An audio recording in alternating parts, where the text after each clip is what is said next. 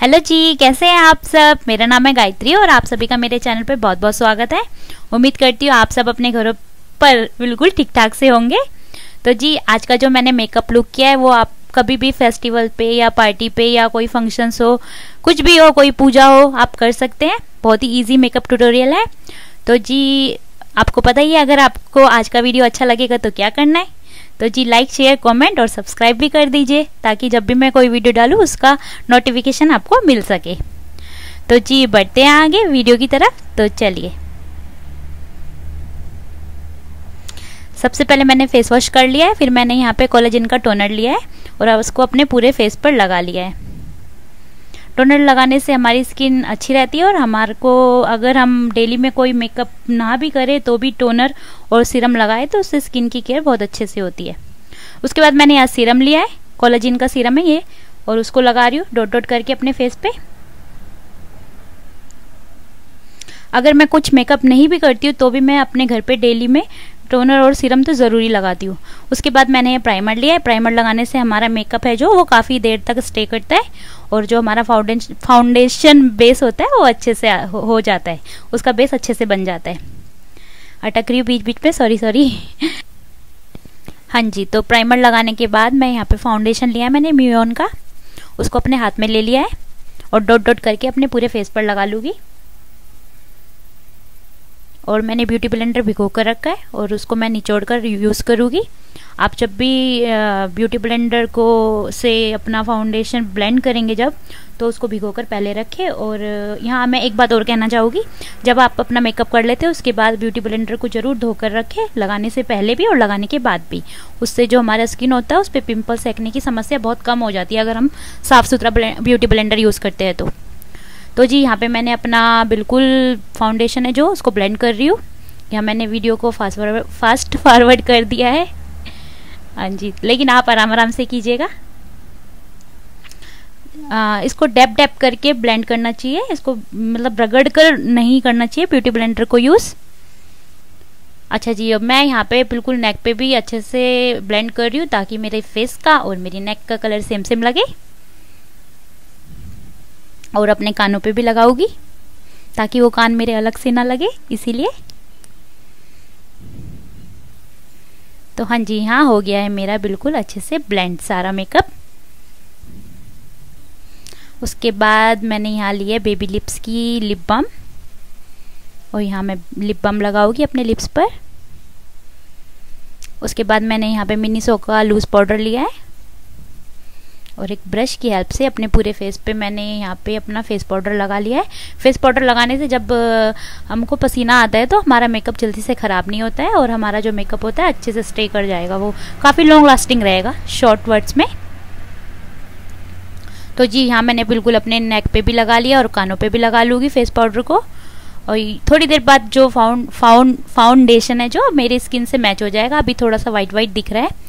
उसके बाद मैंने यहाँ कंसीलर लिया है और अपनी आँखों पर कंसीलर लगा रही हूँ। कंसीलर का यूज़ वैसे मोस्टली जब हमारे डार्क सर्कल होते हैं, तब यूज़ किया जाता है। लेकिन मुझे यहाँ पे थोड़ा सा ग्रीन कलर का आई लगाना है तो इसलिए मैं यहाँ कंसीलर लगा रही हूँ ताकि जो मेरा ग्रीन कलर का आई है, वो उसका जो थोड़ा सा कलर है, ठीक ठीक से अच्छे से निकल कर आए। इसीलिए यानी कि अच्छा सा दिखे। उसके बाद मैंने यहाँ पे ली है ब्लैक कलर की आईब्रो पेंसिल और अपनी आईब्रो फिल कर रही हूँ।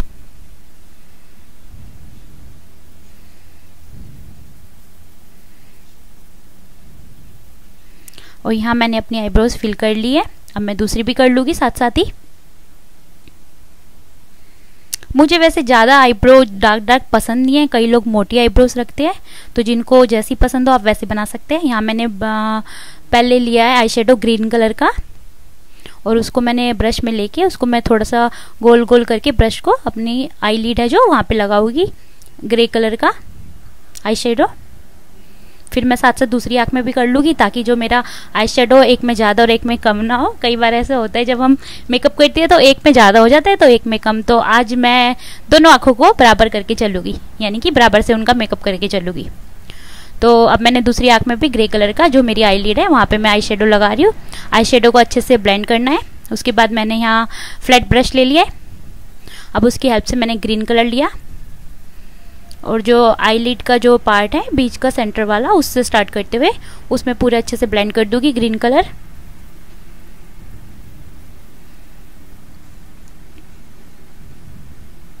आप उंगली से भी ब्लेंड कर सकते हैं। अगर आपके पास ब्रश नहीं है या फिर आप ब्रश यूज़ नहीं करना चाहते तो अपनी उंगलियों से भी अच्छे से ब्लेंड कर सकते हैं। ज़रूरी नहीं है कि सारे ही ब्रश खरीदने होते हैं। कुछ ब्रश घर पे हो तो उनसे भी मेकअप कर सकते हैं और नहीं भी हो तो उंगलियों से भी कर सकते हैं। तो यहाँ मैंने ग्रीन कलर और ले लिया है। अब यहाँ मैं लाइनर ले रही हूँ। ये वाटरप्रूफ लाइनर है। और अपनी आँखों के जो स्टार्टिंग पार्ट होता है वहाँ से शुरू करते हुए जहाँ मेरी आई है वहाँ से स्टार्ट करते हुए मैंने आईलाइनर लगाया।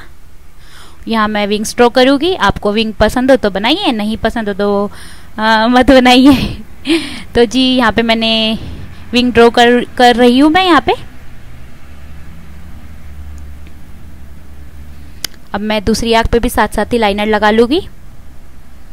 क्योंकि आज का मेकअप जो है मैं दोनों आँखों पे कर रही हूँ तो इसलिए मैं बैक कैमरा कुछ ए, दूसरी आँख का मेकअप नहीं कर रही हूँ। इसलिए मैं फ्रंट कैमरा ही आज दूसरी आँख का भी मेकअप कर रही हूँ। तो जी यहाँ पे मैंने लाइनर भी लगा लिया है।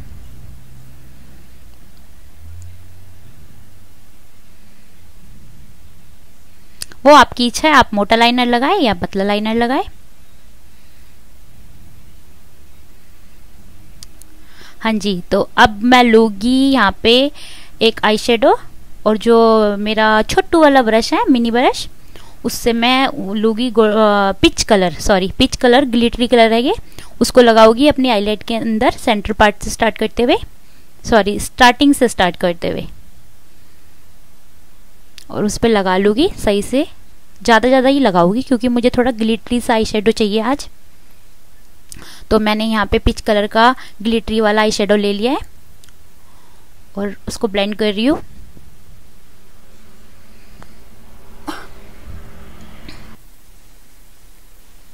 अगर आपको ग्लिटरी वाला आई यूज़ करना हो तो लाइनर पहले लगाए, क्योंकि अगर जब हम ग्लिटरी वाला आई लगा लेते हैं पहले, उसके बाद लाइनर लगाते हैं तो वो लाइनर ठीक से लगता नहीं है। इसीलिए आज मैंने लाइनर पहले लगाया है और ग्लिटरी वाला आई बाद में यूज़ कर रही हूँ।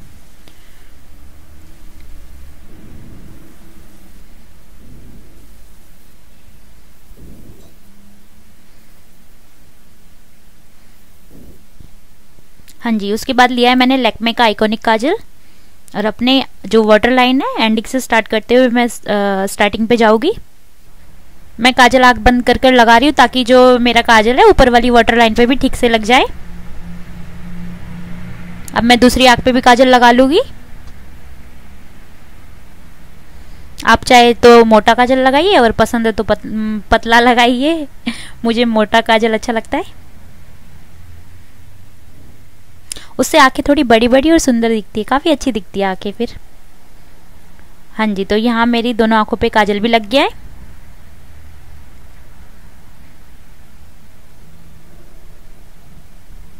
उसके बाद मैंने स्पॉन्ज वाला एप्लीकेटर लिया और उसमें से अपनी आई शेडो पैलेट से ग्रीन कलर लिया और अपनी जो काजल है उसके नीचे मैं स्मच कर दूँगी। दूसरी आँख में भी स्मच कर दिया है। अब मैंने यहाँ मशकारा लिया। मिनी सो का मशकारा है ये, और अपनी आई लैशेज पर मशकारा लगा रही हूँ। अब मैंने दोनों आँखों पे मशकारा भी लगा लिया है।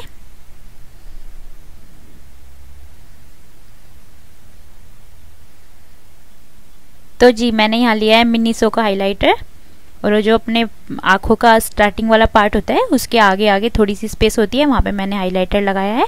उसके बाद मैंने अपने आईब्रो बोन होती है जो, वहाँ पे भी हाइलाइटर लगाया और उंगली पे भी लिया थोड़ा सा हाइलाइटर और अपनी चिक बोन पे लगाऊँगी। ब्रश से भी लगा सकते हैं, लेकिन मेरे को थोड़ा उंगलियों से लगाने से थोड़ा कंफर्ट लगता है। उसके बाद यहाँ हाईलाइटर लगाने के बाद अब मैंने यहाँ पे फ्लपी ब्रश लिया है। और उस पर से थोड़ा सा जो डार्क वाला रेड कलर होता है, वो लिया और अपने गालों पे ब्लश करूँगी। आप चाहे ज़्यादा लाली लगाइए, चाहे कम लगाइए। मैं थोड़ा सा कम लाली लगाऊँगी। और स्माइल करते हुए लगाइए। जब भी आप ब्लश करेंगे तो।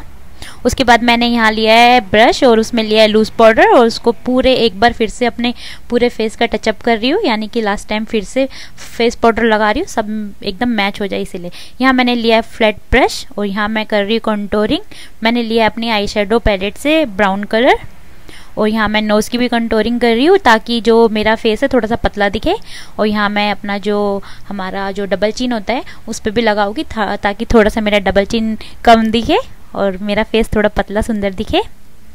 और उसके बाद मैंने यहाँ ली है रेड कलर की आउटलाइनिंग और आज मैं आउटलाइनिंग कर लूँगी।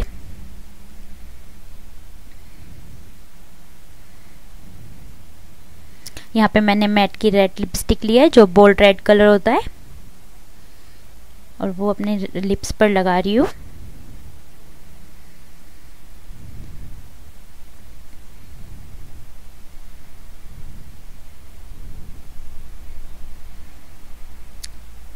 जब भी मैट की लिपस्टिक लगानी हो आपको तो लिप बाम पहले लगाइए। उससे क्या होता है कि जब हम मैट की लिपस्टिक यूज़ करते हैं तो फिर जो हमारे जो लिप्स होते हैं, वो काफ़ी ड्राई ड्राई नहीं दिखते हैं। हाँ जी, अब मैंने एक टिश्यू लिया और जो मेरी एक्स्ट्रा लिपस्टिक होगी उसको मैं क्लीन कर रही हूँ। उसके बाद मैंने यहाँ ग्लैम का मेकअप फिक्सर लिया है, उसको थोड़ा शेक शेक किया है। आप चाहे आँखों को हाथ रख के, आँखों के आगे ऐसे भी मेकअप फिक्सर को यूज़ कर सकते हैं और डायरेक्ट से भी। लेकिन आप मेकअप फिक्सर जब भी यूज़ करें तो फेस से थोड़ी दूर बोटल से बोटल को रख के स्प्रे करें। उसके बाद मैंने यहाँ ब्यूटी ब्लेंडर लिया है और अपने मेकअप को फिर से प्लान कर रही हूँ। तो हाँ जी, यहाँ हो गया मेरा मेकअप कंप्लीट देख सकते हैं आप। अब पारी है ड्रेस चेंज करने की तो मिलती हूँ ड्रेस चेंज करके।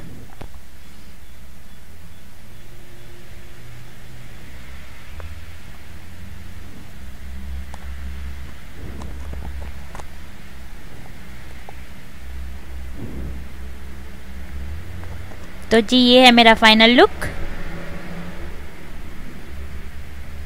कैसा लगा, ज़रूर बताइएगा। तो आज के लिए इतना ही। मिलती हूँ नेक्स्ट वीडियो में। तब तक के लिए ओके बाय बाय